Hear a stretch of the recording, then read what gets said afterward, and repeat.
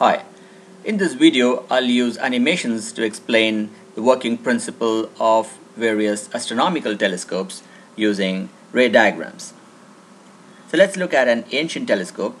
Uh, there was a usual tripod stand and an articulating hinge to turn it and a set of long tubes.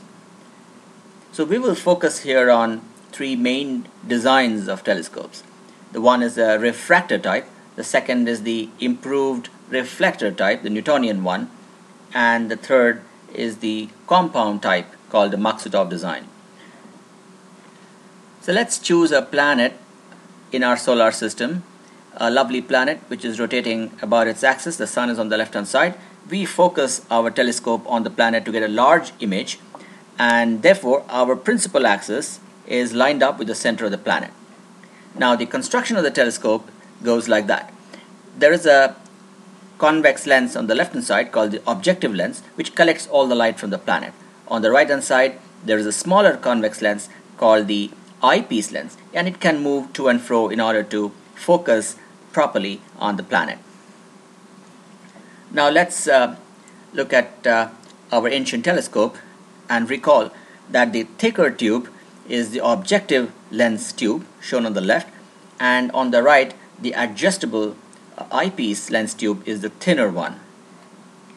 Nowadays telescopes are of much larger diameter.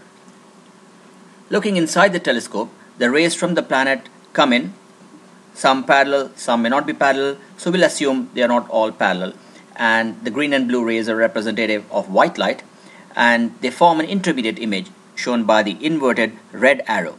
The red arrow is at the meeting point of the focal length of the objective lens, which is a large f1, and the small focal length of the eyepiece mirror, which is the small f2.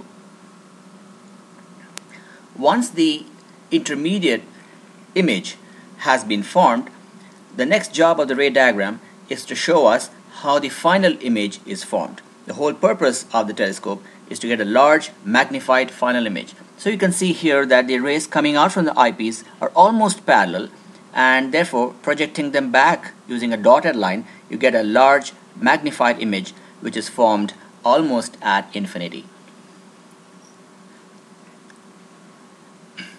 And once again you can notice that the focal length f1 and the focal length f2 fall on a focal plane where the inverted image has been formed. That's very important. Now if we move the eyepiece too far away from that ideal point, then we will still get an image as shown here. The image may even be larger than the previous image, but it could be very blurred because we are not at the meeting point of the focal point. The f2 when started from this new position of eyepiece will fall much shorter than the original position. Now let's look at the reflector type of telescope.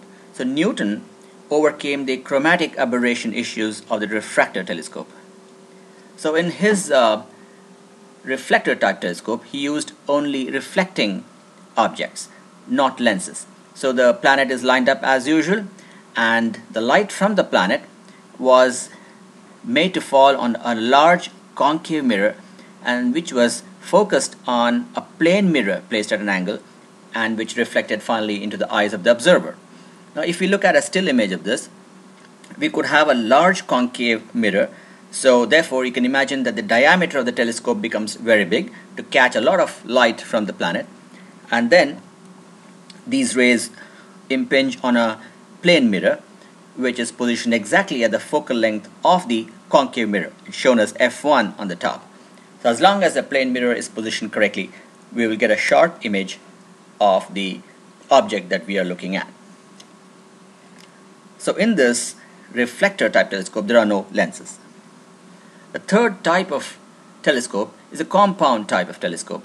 It has a combination of lenses and mirrors. So the incoming light goes through a corrector lens and I'll explain what that is. And then it goes as usual to a concave mirror and thereafter a, to a plane mirror and then to the our eyes. So this is called the Maksutov design. So we have the planet and the telescope tube as usual but here we have a surprise we have a concavo-convex lens so the rays from the planet come in to the concave surface diverge and again converge at the convex surface of that lens. After that, they become parallel, go to that concave mirror, get reflected, hit a plane mirror, and back to the eyes of the observer. So it's pretty simple actually. So let's take it one at a time. You can see the rays coming in, getting diverged at the concave surface, meeting the convex surface of the concavo-convex lens, also called a meniscus lens, and then becoming parallel. Once they are parallel to the tube, they will hit the concave mirror and the plane mirror, which is shown in red, is placed exactly at the focal length.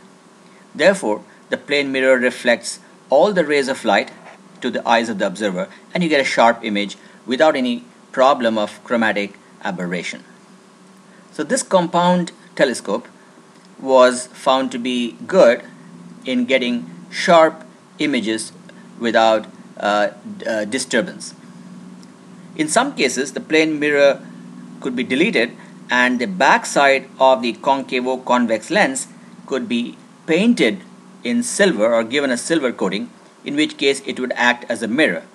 So this kind of design was called the Maksutov Cassegrain design.